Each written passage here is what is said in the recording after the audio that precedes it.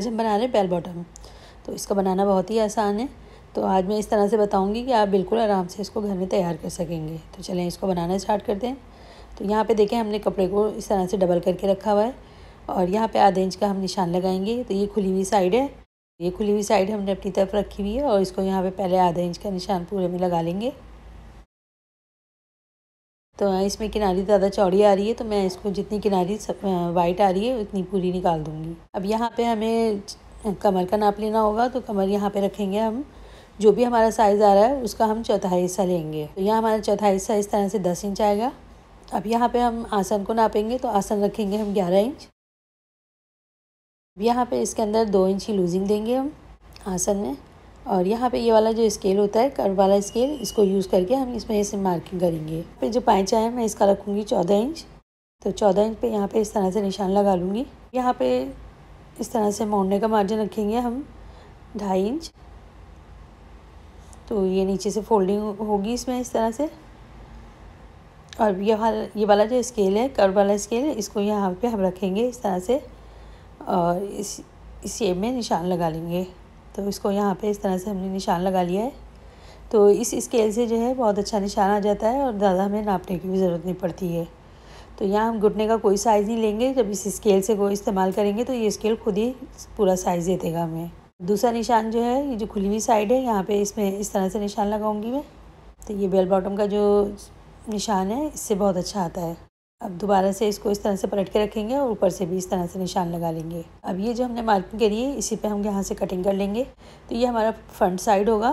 तो इसका back side जो है, वो हम पहले फ्रंट काटेंगे, उसके बाद बैग रख के काटेंगे।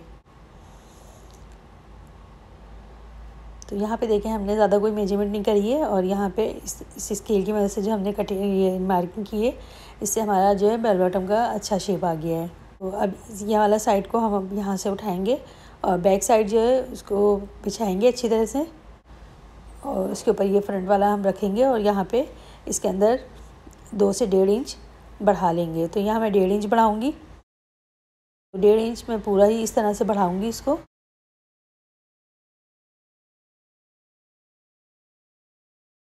साइड है, यहाँ से हम पूरा इसमें डेढ़ इंच इसको बढ़ा लेंगे। अब यहाँ पे एक इंच हम ऊपर से इसको इस तरह से बढ़ा के लेंगे, जो बैक साइड वाला है, और यहाँ पे इस तरह से निशान लगा लेंगे। अब यहाँ पे पूरे में नीचे तक मैं इसके अंदर डेढ़ इंच की एक्स्ट्रा मार्जिन दूँगी। तो ये बैग वाला जो है, इसके अंदर इस तरह से हमें बढ़ाना होता है। अब दोबारा से ये वाली शेप पट्टी जो है, इसको यहाँ पे हम इस तरह रखेंगे, और बैक साइड पे भी इस तरह से निशान लगा लेंगे। इन निशानों पे हम यहाँ इस तरह से कटिंग कर लेंगे।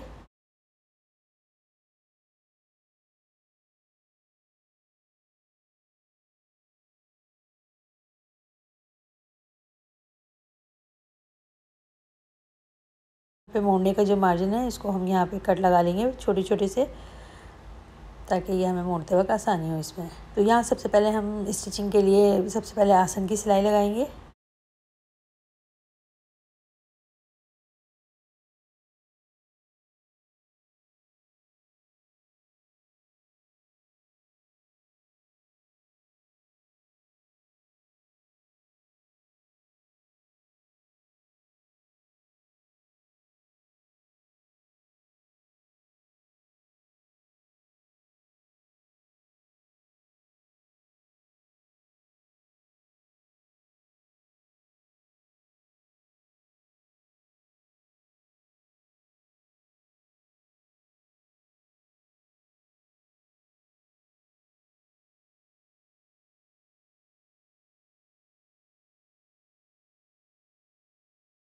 तो यहाँ देखिए मैंने आसन की सिलाइयाँ लगा ली हैं।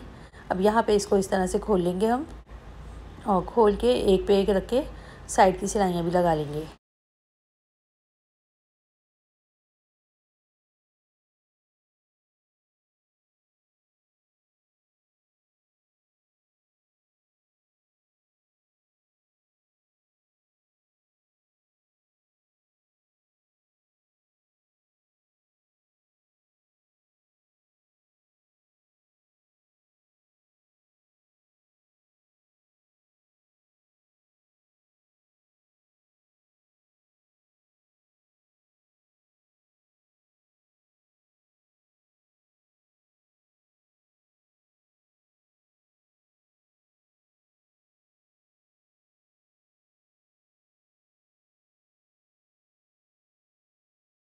देखिए हमने साइडों की सिलाइयाँ भी इसकी लगा ली हैं। अब यहाँ नीचे से हमें फोल्ड करना होगा। यहाँ पे हम इसको इस तरह से जो हमने कट लगाए थे, उनको कटों को आपस में मिलाएँगे और यहाँ एक दफ़ा आयरन कर लेंगे ताकि ये फोल्डिंग में हमें कोई परेशानी ना हो, बिल्कुल फिनिशिंग के साथ फोल्ड हो जाए। तो ये देखिए मैंने इस तरह से आयरन कर लिया है इसको और अब हम बिल्कुल आसानी के साथ इसको फोल्ड कर लेंगे।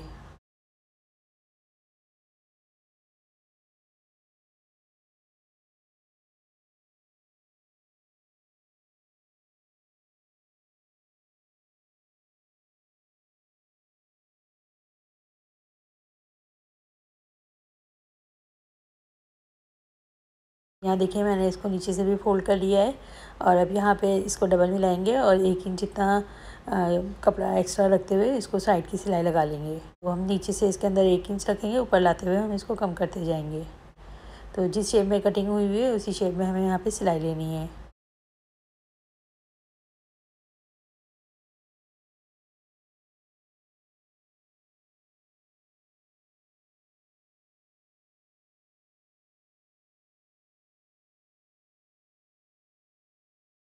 यहाँ देखें मैंने साइड की सिलाइयाँ लगा के इसको बंद कर लिया है। मैं सीधा करके दिखाती हूँ। तो यहाँ देखें इसका शेप बिल्कुल परफेक्ट आया है।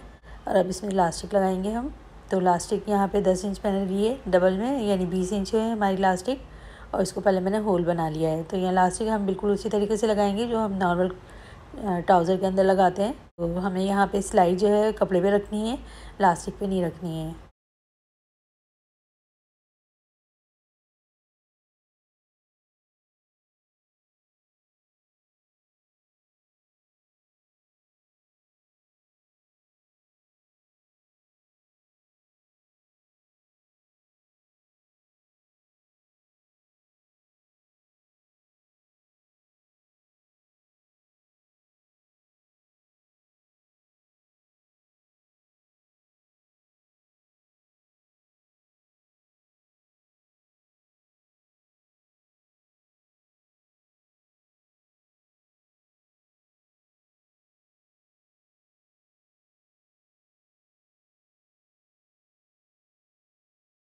देखिए, हमारा बेल बॉटम बन के तैयार है।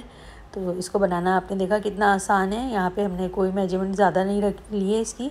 बस यहाँ हमने स्केल की मदद से इसकी जो मेज़रमेंट रखी है तो उससे ही हमारा परफेक्ट बन के तैयार हुआ है।